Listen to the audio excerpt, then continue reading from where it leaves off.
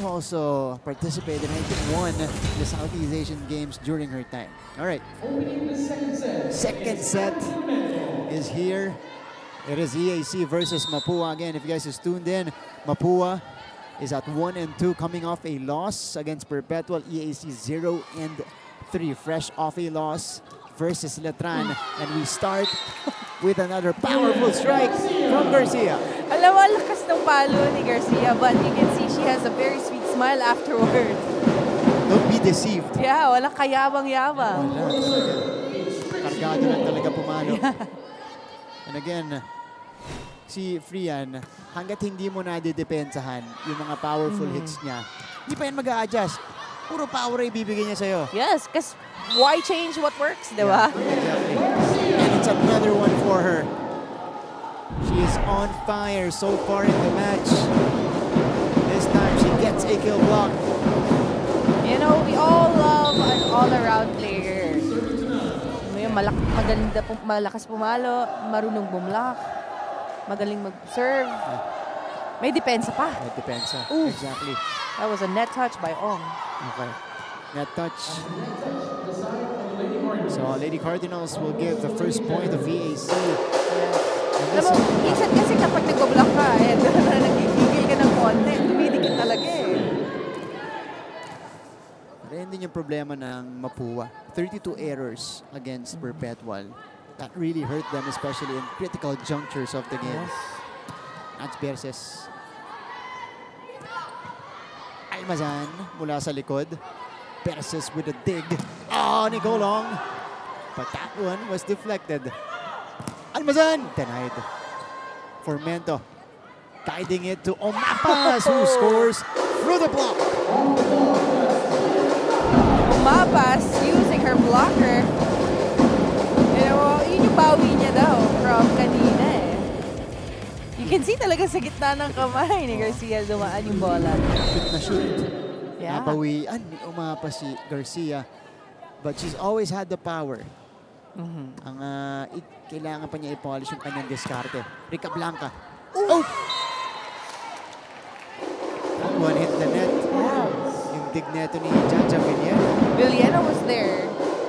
Kanyang-kanya na yung bola eh. But mali yung control. Mali yung, see? No control over the ball. Yeah, yeah. That's why it went straight to the net. It was Rica Blanca who scored that for Mento. Omapas! Oh, that's the power I was talking about earlier. We'll see if there's a check. Yeah. No No. check. That was too long. Mataas yung bola no check. And we can see naman pag may check eh. Mag-iiba talaga yung trajectory. ano? Yeah. Garcia. It's a good serve. Almazan There. swings away. Yeah, you can see there. May check.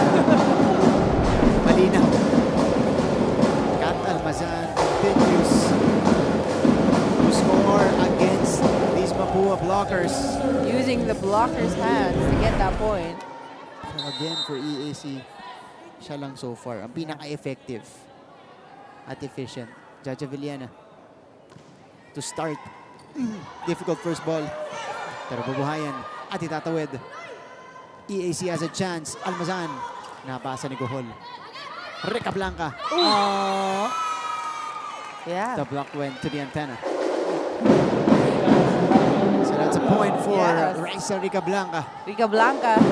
You know, parang pinadaan niya lang sa kamay ni Almazan eh. Raisa Rica Blanca, by the way, 20 points a couple of games ago. So, meron ka ng Rica Blanca, may Garcia ka pa. Tapos, may sumusupport pa na. Versus ngayon, ha, emerging as well for the Lady Cardinals. Alam mo, errors lang talaga ang pamatay. Kita mo naman yung uh, fold na yun ni Rica Blanca, although it is popped up. Gohol, inabot. Oh, Babs Babiera puts it down. Babiera with a tip. How about this? It's Gohol who tracked it down. Alam mo, medyo dinaanan na si Babiera nung set eh. Napunta na sa kanyang left side, but she twisted and just tipped the ball. making up for the delay. Yung, ata, yung adjustment Yeah. doon ni Babs. Oh! What a dig by Garcia. Perses. Yeah. Medyo nahirapan siyang kunin yun. Oo eh. Naka-forward na siya, nag-start na siya ng approach niya, but the ball, yung set, pupunta sa likod niya. Oo. so she had to adjust. So, Razonable comes in for EAC. She comes in for the struggling Krisia Reyes na hindi pa nakukuha yung rhythm dito sa laban natin. 4 to 6. Jen Umapas. Here's the jump serve. The hold. Back set. Reka Blanca sends it away. Wow! The lefty killer goes down the line. That was late blocker. And para sa kanya, that was breakfast. Ah, Alam mo yun? correct. Ah, wala akong blocker or late yung blocker ko. That's gonna be so easy for me. Matik down the line ng desisyon. Yeah. Razonable. Rika Blanca over to Verses this time. Oh, that one was sent back. Sabi nila, good pa. Fermento. Razonable from the back. Ah, dug up. Oh, what a play. Itatawid din. Long rally. Verses! Wow! That, The rookie Nats Versus sends us to our first technical timeout. Stephanie Benito will be bringing her report afterwards.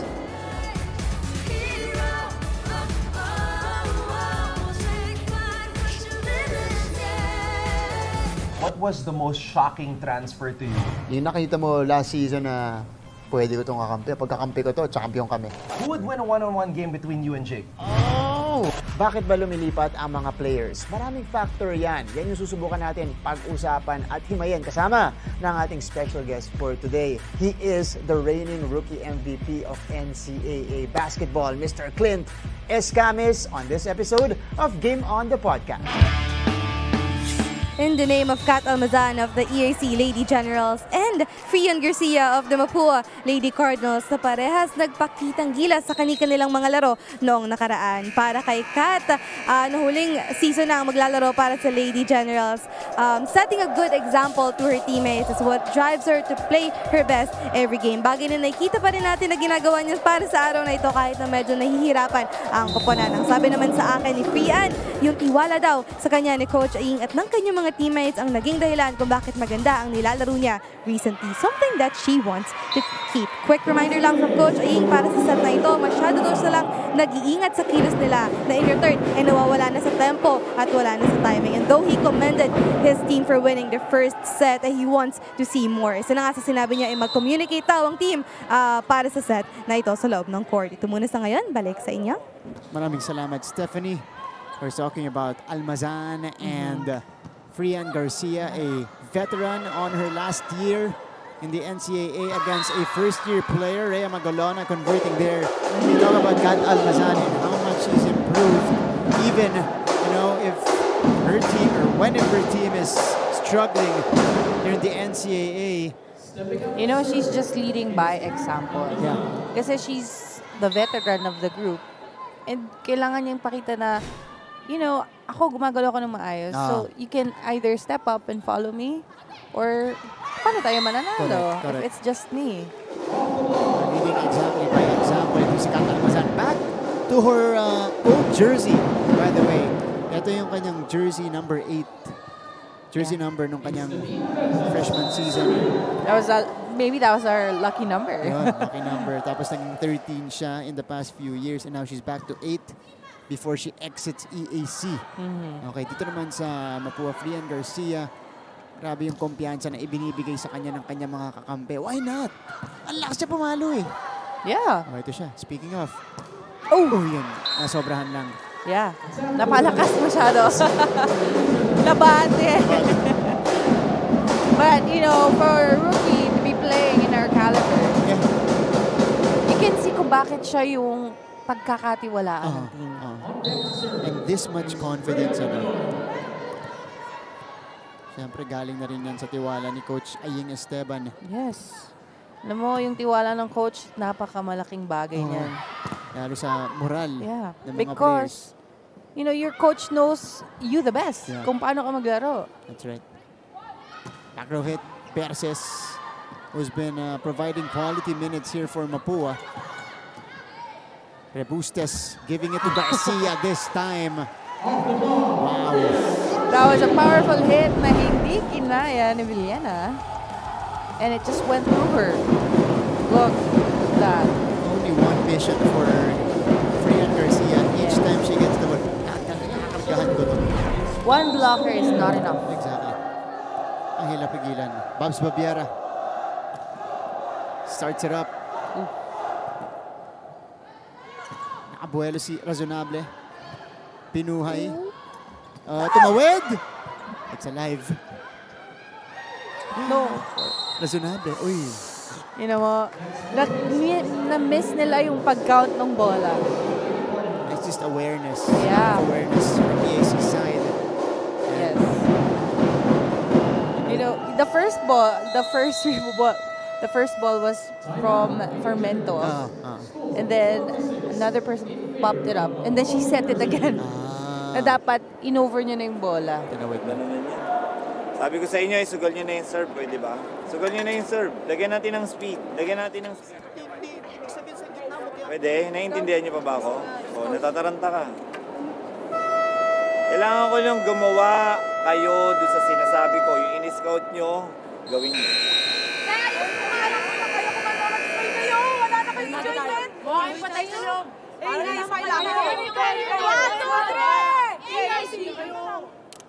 Mm, sabi ni Coach Rod, of course, Kat Almazan also Yeah. um, yeah, echoing the statements of Coach Rod. As we see Coach Ayeng Esteban here, sabi ni Kat, mawawalan na tayo ng enjoyment. Alam mo, mm. kanina nung simula nung timeout natin, Yeah. parang may nag, ano, no, may nag, tran- nagtatranslate, ibang Yeah. linggo. Akala ko nagja-Japanese si Coach. si Coach Ayeng, ano? Yeah. Boses Pero- ni Coach Rod. Alam mo, malaking bagay talaga yung enjoyment sa paglalaro. yeah, yeah, yeah. Because kapag wala na yan, puro nerves na lang ang umiikot. Sobrang tense nyo nang gumalaw. Everything you do, kahit yung pagre-receive lang, it's gonna be harder.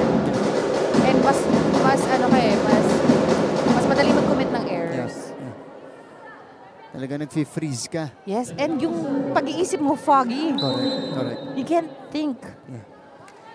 So they need to relax. Alam natin kung Absolutely. gaano ka-importante ang decision making sa volleyball. Gohol to Nicole Ong. It is saved. Razonable. Una doon, si Rica Blanca. Isa pa. Regalo. Ay pagsabayan si Gohol. Garcia will try. Easy up for EAC Villana with a push. Ow! Sent back by Nicole Ong. She is... No coverage. Yeah. She's got tremendous timing talking about Nicole Ong. Bang klase ang timing nito. Kaya kahit single block, si Nicole lang ang naiwan doon. Kumpiyansa ka na at Yeah. least madedeflect yung bola. And yung mga spiker as well, iniiwasan siya eh. Oo, correct. Oh, ito mo, binuhay pa niya to. Good reflexes by Ong. Chance though for EAC. Tulak. Check out for Razonable. wow! Razonable just tipping the ball through the hands of her blockers kasi medyo na-late na siya dun eh. But, ginawa niya na lang ng paraan. And you can see na talagang kahit saan siya ilagay, no? Naglalaro lang si Razonable. Kanina, she was in the opposite position and now she's an open spiker. No problem. Grabe yung papakita ng versatility itong si Razonable. Not on the service line Yeah. in that instance though. Masyado, 40 to 8. yeah, masyado ko na daw siyang uh, nababate. But uh, at a good side for EAC though, at least nakakita na sila na po pwedeng tumulong kay Almazan. yes. Frian Garcia. Oh. That's a faulty first ball. Here's a chance. Perses! hmm. Tingnan nga natin, hindi pa rin. Wala pa rin reaction. Nonchalant pa rin itong si Nance Perses. yes. Nonchalant or OA lang eh. Siya daw si nonchalant. Si Nonchalant. Mo, wala talaga. No reacts from Nance Perses. Laro lang. Frian Garcia. Oh, service ace from Garcia. Yes. 16 Garcia to again. 8. Yeah, it's her again from the service line. Let's go to our second technical timeout. Mapua doubling up on EAC.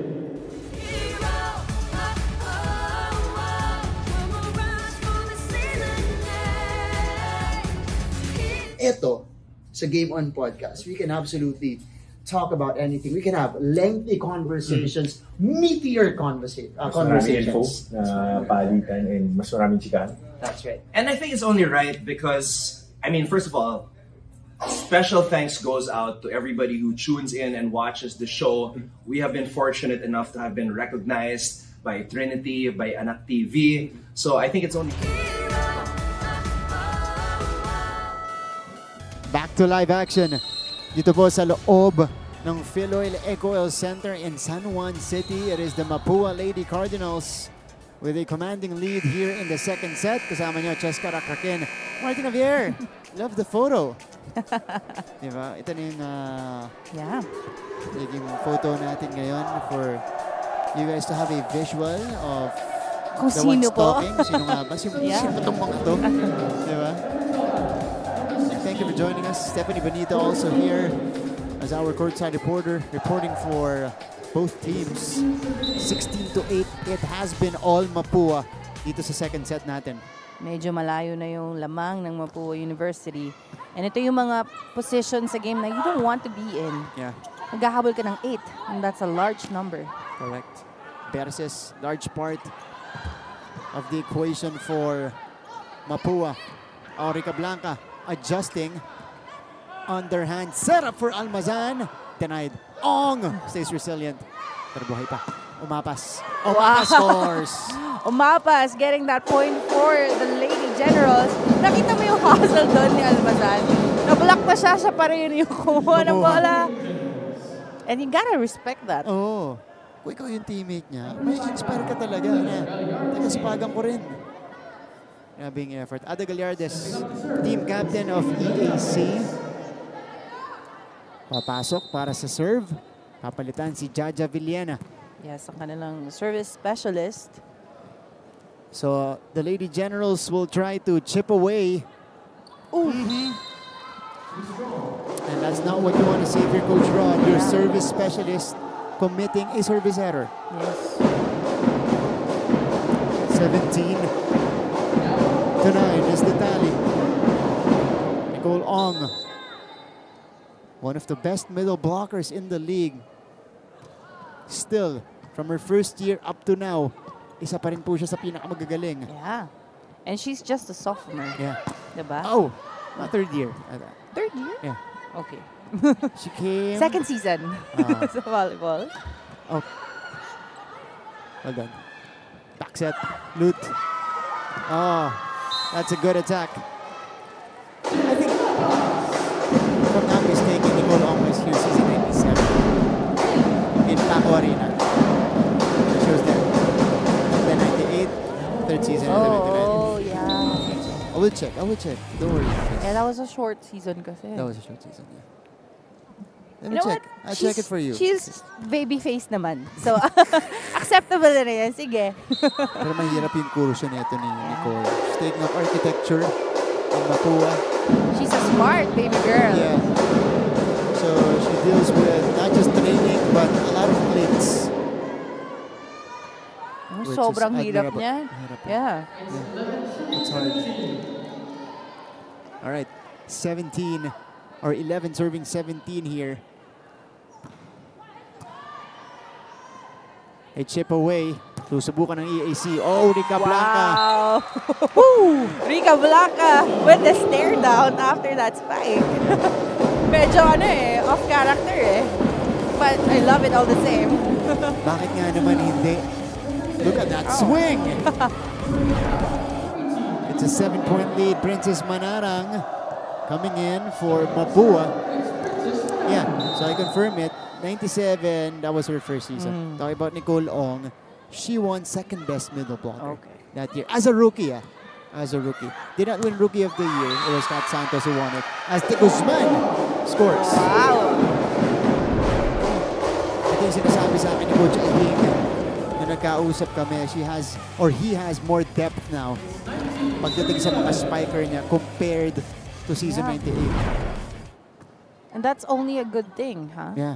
Para sa Mapua Lady Cardinals kasi ang lalim ng arsenal na Almazan, Or, that one goes out, 22-11. Lumobo na ang abante yeah, ng Mapua. nine points ahead for the Mapua Lady Ginagawa niyo, hindi Cardinals. natin practice yan. Oo. Yung mga pa-check-check, pinag-aralan mo ba yan kagabi? Yan ba inaral mo? Iiwas mo yung bola sa kamay ng blocker? Oh, eh ba't ginagawa niya? Ha? Baka gusto niyo mag-celebrate kada nakakapuntos kayo ng dahan-dahan. Hindi nakapuntos na kayo para kayo nasa Ponebro.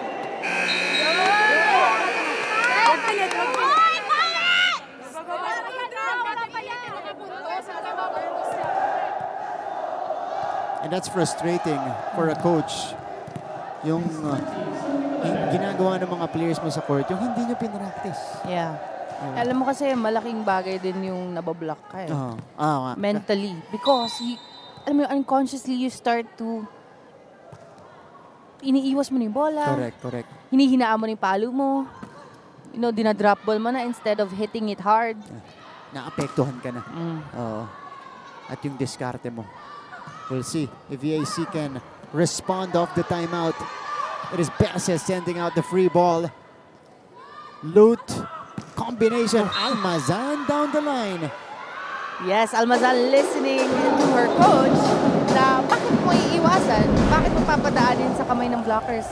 Eh, tinitraining mo, pinapalo mo eh. Yung pinractice niya. Almazan scoring, catching the corner pocket. 12 to 20. Oh. Manarang to Babiera. Picked up. Back row hit. Dug up as well by Garcia. Perses approaches of speed this time. Tulak mula kay Razonable. De Guzman off the block for Hannah. That was a good attack using her blockers. Talagang tum- tumaan kay Razonable. You know, and that's confidence booster for De Guzman. Hannah De Guzman used to, uh, used to be part of the starting unit ni Coach Aying. Heavy hitter din yan. Oh, it drops in. No, pancake save by De Guzman. Yeah. Sabi ni Coach Aying, dalawang kamay Yes. na mo. Because as much as possible, two hands is better than one. Lalo na pagdating sa control. Medyo nagmadali lang doon si Versus. You know, let's forgive her kasi it's her first year First here. year. And that's. First year. And sure naka first year. Ah, yan, yan. Rookie, yeah. Una talaga yan. Pero to si Berses, of course, performing very well. Inserted earlier for Roxy De La Cruz.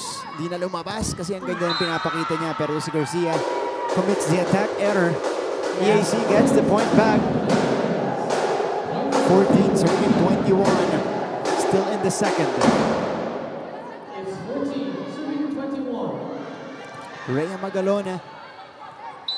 One of the middle blockers nitong EAC is on deck. Rebustes, Manarang, back set to De Guzman. Diretso kay Umapas yun. Ito naman si Razonable.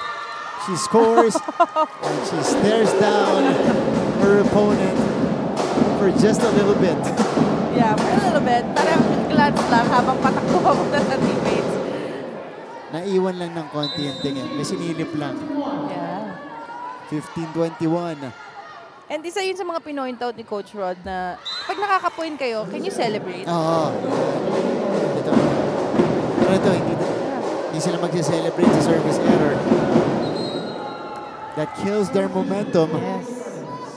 Esteban comes in for the first time. For Mapua, this is Francesca Esteban. Ooh, same name. Oo nga, no? Ako si Francesca. Kaya kailangan ipasok niya yung serve. Ayun, siya rin yung nag-dig. yeah. Wow. Sa dig. Garcia. Oh, a lot of heat. And that spike. 10 puntos na para kay Freon Garcia. Wow. Walang sumabay, ano, Cheska? Yes, and that was a good target. Wala na nga siyang blocker. Kasi isa yan sa mga, ano eh, nakakatulong sa floor defense. Ah. It's a guide for the floor defense, yung blocking. Wow! Wow, Hannah de Guzman with quick reflexes. Regalo-regalo eh. Yep. And she just dumped it down. Parang dinunk niya talaga. That was smart as well. Kasi kung medyo pinahaba niya ng konti yung drop na yun, makukuha pa ng Oh, may kalaban. nakadig doon. Set point Mapua. Oy! Miscommunication. Pati tayo nagulat. Loot. Razonable! Sabi niya, not yet done. Yeah. Razonable with a mas mahabang stare down. A lingering look after this hit and point for Razonable. Yes, sabi niya kasi, dalawa kayo dyan, wala man na nakablock sa akin. Oo nga, oo nga. Dalawa yung blockers niya doon. 2v1. Ow! Service error. yeah, kanina pa yan. Been the story for EAC so far. And that's how we will end the second set. Mapua Versus EAC. We'll find out if they can end the match when we return in set number three.